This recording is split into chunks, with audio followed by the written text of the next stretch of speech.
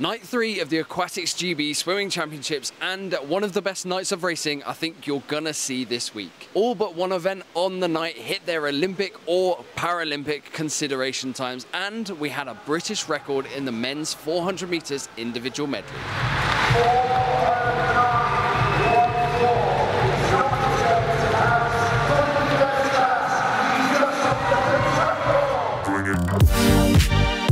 Started the night with the men's 1500 metres freestyle, and it was a little bit of a pressure cooker in here because Dan Jervis gave himself one shot to make the Olympic team in this event only. No 800, no 400 this year. The only thing he had to do this week was go sub 14.54.29, and he did it in some style.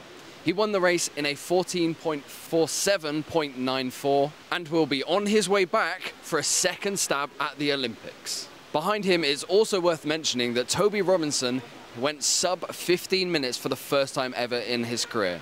Now, he missed out on the Olympic consideration time in this event by minuscule fractions, but he's already qualified in the open water event. The women's 400 metres individual medley. This was a head-to-head billing of epic proportions between Freya Colbert and Katie Shanahan, and it lived up to all of those pre-race expectations. Both swimmers going beneath the Olympic consideration time set by Aquatics GB, and Freya Colbert hitting a new personal best in 434.01. Now, Freya was already qualified in the 200 meters freestyle earlier on this week, but she's not racing that individually at the Olympics. This event is her focus, and with that time in her back pocket, she may well now challenge for an Olympic podium later this summer. I mean, I'm definitely happy with it. It's a PB, so I mean, 34 0. I would have liked if it was a 33. Like, everyone's always happy, but not quite happy enough. So I think it's definitely a step in the right direction, but there's still lots of work to be done if I want to be on that podium in Paris. And I'm very aware of what the girls in the rest of the world are doing, and they'll probably be moving on when their trials come around. So I'm pleased that there's definitely more to come, hopefully. Next up here in London, the crowd got incredibly vocal to support S6 swimmer Bruce Dee as he competed in the men's mixed classification 50 meters butterfly.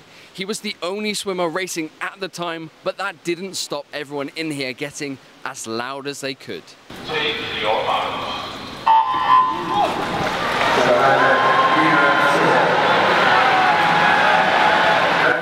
The Northampton swimmer scored 713 points, of course to win the British title.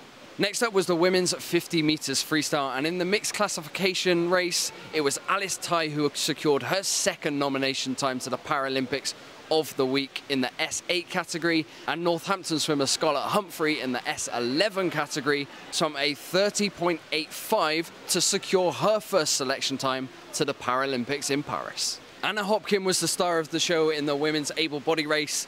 She won in a time of 24.53. Now, she wasn't the only one who impressed in this race. Eva Okaro dipped underneath the 25 second barrier for the first time ever, and it's really exciting to see the talent that is coming through on female sprinting in GB. When you look around at that final tonight, there was a lot of young girls in there. What's the future of sprinting in this country looking like? Really good. I mean, obviously seeing Eva go under 25 for the first time and she's still so young. Um, obviously you can never take it for granted coming to something like this, even though you know, I was favourite to win and multiple British champion. You know, the young ones are always coming through, and you've always got to watch out behind you for them coming through. So I'm really pleased for her to do that, and I know that she'll be definitely looking for a place um, in the 100 and you know we need people coming through for that relay because you know we've been around the fourth and fifth mark at the minute and we want to get a medal in Paris so we need the young ones to come through and support that relay as well. Next up on the night Max Litchfield's return to an Olympic trials. He's had two stabs at the Olympics so far, two fourth place finishes and he heads to Paris this time with a British record in his back pocket in the 400 metres individual medley. Take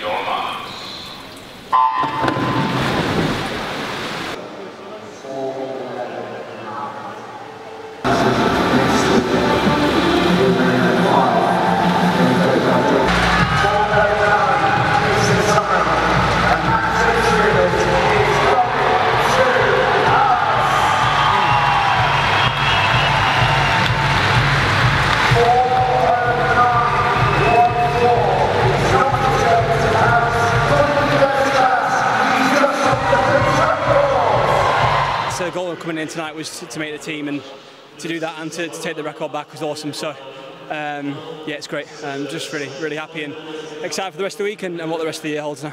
And now some of the biggest races of the night, the men's 100 metres freestyle. We kick things off in the heats of the para races, where William Ellard broke his own world record in the S14 category. Now, in the evening's final session, there was another Paralympic nomination time secured by Stephen Clegg in the S12 category. And then one of the races of the week, the men's 100 metres freestyle, which saw Olympians Matt Richards, Duncan Scott, Tom Dean, Jacob Whittle all battling it out for an individual swim in this event and a place on the 4x1 relay.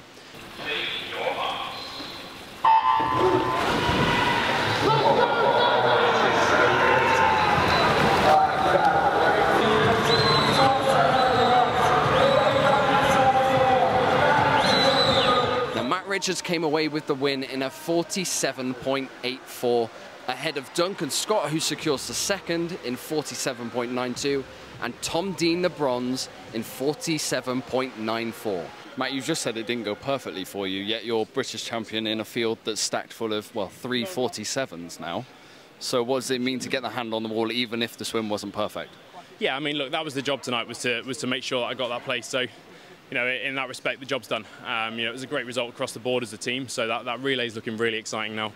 Um, you know, it's great to see those other boards on, on, such good form as well. You know, it makes that, that really exciting in the summer. Um, but as you say, yeah, there was definitely some bits there that I didn't get quite right. Um, I think my execution around some of the skills wasn't very good. Um, so there's more in that. You know, there's more in that, more to come in the summer. Um, we've got another big block leading into it now. So, yeah, I think that event, I'm still still learning it. but when I get it right, it'll go really well. Now backing them up in fourth place and securing his place on the Olympic relay team was Alex Cohoon from Loughborough University. He set a massive new personal best in a 48.2 seconds. And right now that relay team heading into Paris is looking as exciting as it ever has. Tom, you've got three 47s now in that relay team. How exciting is that come to Paris? It's good. I think it's the first time we've had three 47s at trials, which is really good. It's the first time I've gone 47 at trials Rose really well. I didn't think it was as tight as it was. Point one between us, top three.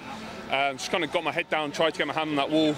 Um, but yeah, how good is that for the relay? You know, and, and that was always my plan on the 100 free. Just come here, get my name on the relay, move on to AM23. They're the individual hopes, so it's good. Alex, that's a world-class field that you've just been a part of, and you've secured yourself a place on that 4x1 relay in the process. What does that mean? Oh, it means everything. It's what I've been training for for the last three years since going to Loughborough. The field that speaks for itself is absolutely insane.